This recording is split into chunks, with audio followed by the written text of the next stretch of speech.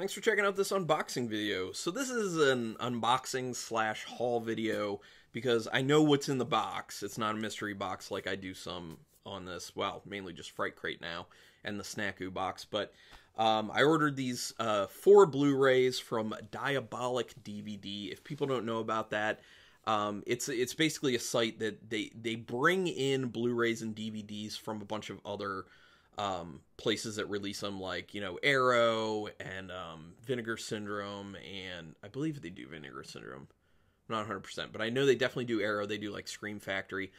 So they basically take from a bunch of uh, companies that release films, um, and you know they put it all on one site, and that's what I kind of like. So it's a little bit more expensive than just buying from the source directly, like going to Scream Factory or something.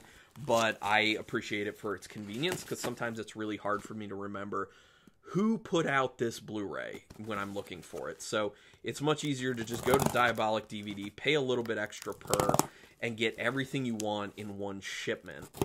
Um, it's a convenience thing, and I like that. So this is the second time I've ordered from Diabolik, and let me just go over what I got if people are interested. If you're watching this, you are. I don't. This is this will be in no particular order. I'm just gonna pull them out one by one. So the first one we have is the newest uh, collector's edition Blu-ray of My Bloody Valentine. So I watched actually watched this old classic for the first time back in October. I'd heard a lot of good stuff. I have this long list of uh, horror films that I need to get to. This one had been on it for quite a while, and I was like, oh, I'm going to check it out because it's been too long, and I've heard really great things about it. Fell in love with it. It's amazing, and I've been meaning to get this. So uh, when I was going to place an order, I'm like, I'm going to get that new Blu ray for uh, My Bloody Valentine. I believe this just came out last year through Scream Factory. Yeah, through Scream Factory. So very excited to delve into that one. Very, very excited. Then we have um, one that I've never seen before. I just decided to buy it because I couldn't find it through like Netflix DVD that I use or on any streaming service or anything. And I've heard really good things from a bunch of people. So I'm like, I'm just going to buy it. Plus, it wasn't super expensive. And this one's out by Kino. Um, Rawhead Rex. I've heard this is kind of like low key. People love it.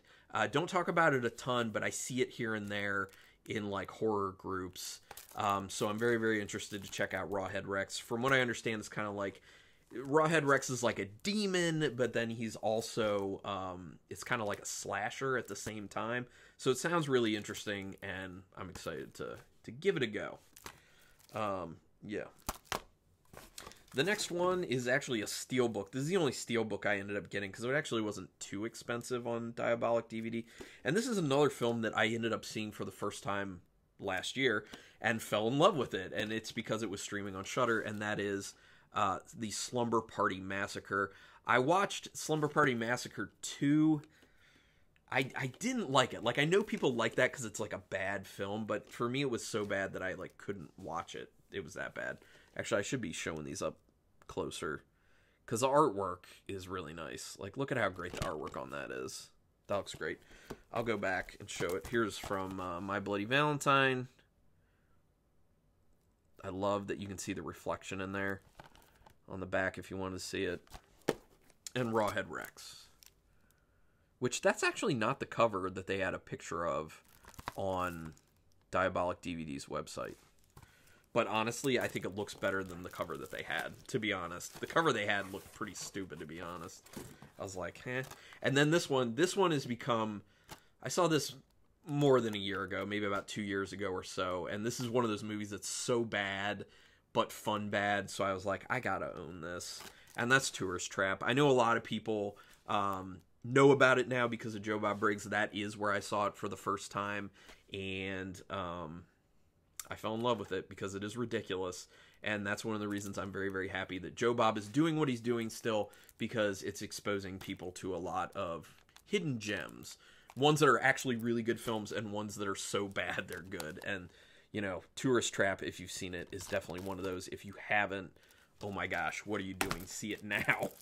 Once I saw it, I was just like, why have I not seen this until now? It was the same thing with when I eventually saw um, the movie Society by Brian Yuzna, which I don't own that yet, but I am planning to buy that on Blu-ray at some point. I was going to get it with this shipment because it is available through Diabolik DVD, but the pricing on that one is a lot higher than what I want to pay right now. So I don't know. We'll see. Maybe I just end up going for it and paying that higher price later when I make another um, purchase uh, with some other stuff, or maybe I'm waiting for it to come down. I don't know. We'll see. But anyway, um, very nice smattering of films. I'm doing this for the thumbnail. Looking good. So yeah, uh, I would recommend people go check out Diabolik DVD. That's Diabolik with a K, not a C.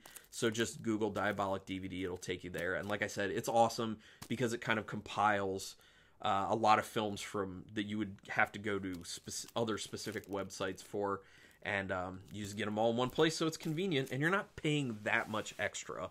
To be honest, it's a few bucks extra, I think, per Blu-ray.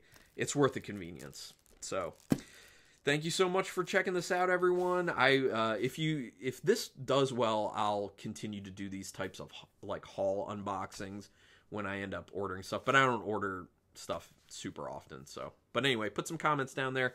Have you seen any of these films? Your thoughts on them? Um, yeah, especially Rawhead Rex because I haven't watched that yet. The other three I've seen before. So, put some comments down.